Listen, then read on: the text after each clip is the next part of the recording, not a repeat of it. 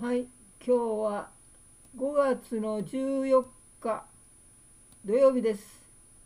今日も新聞コラムの音読を行います。夏の参議院選を控え、政党や各種団体の街頭演説をよく見かける。傾聴すると憲法9条堅持、対立は対話で外交的解決をと説く意見が目立つ。ロシアによるウクライナ侵略を契機に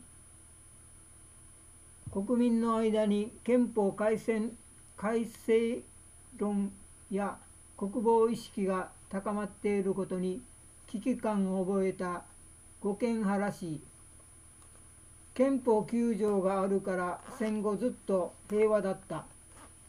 東京近郊の某駅前広場ではこう主張する所属不明の団体がいた。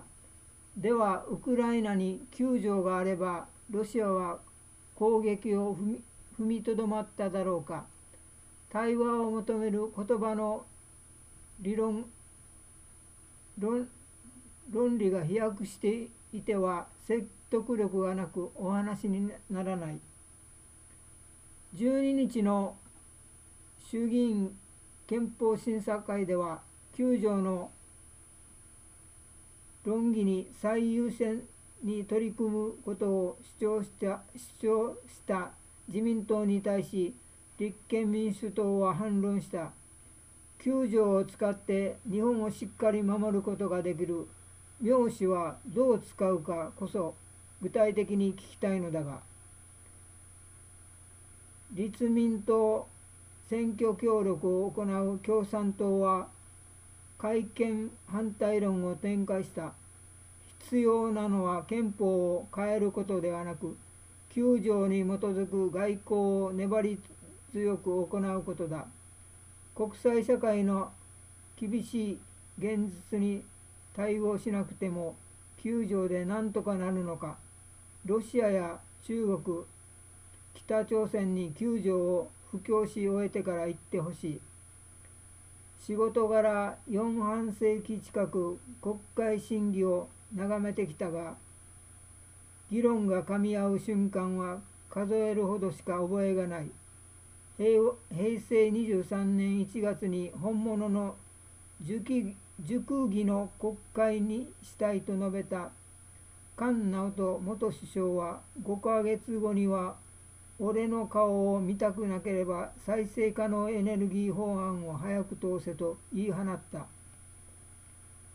憲法の父や憲政の父尾崎幸幸男は晩年こんな歌を詠んだ。国のため懇談熟議すべき場所動物園となりに行けるかも。石田隆明著政治家の条件。国内でもまともな議論は成り立ちにくいのに対話だけで異文化国家を説得できるのか。平成、えー、令和4年5月14日土曜日三景名の音読を終わります。今日の表題は立憲民主党さん9条をどう使うの？としました。ロシアは約束を破る国です。中国も約束を破る国です。北朝鮮も約束を破る国です。みんな嘘つきです。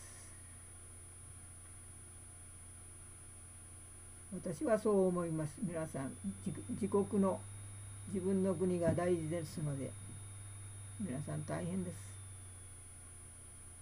本日は以上でした。ありがとうございます。